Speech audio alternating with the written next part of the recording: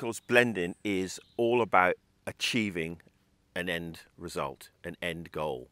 And so everything you do is focused on that. It means you take the, the raw ingredients and you are hoping in some way to be able to come out with something that resembles whatever it is that you're going to create at the end of it. Okay, so is pretty basic. It's apples. All right. Anyone who tells you otherwise, they're not making the sort of cider I make. Okay, so it's all about the apples, and those apples bring a myriad of different qualities to a blend, but you can deal with that at a later phase.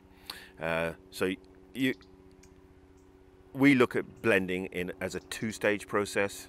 First stage is at harvest, and the second stage is when it's coming around to packaging, bottling. Let's say bottling to make it easier in the discussion, and then you need to work with both those areas in mind when you're when you're making a cider.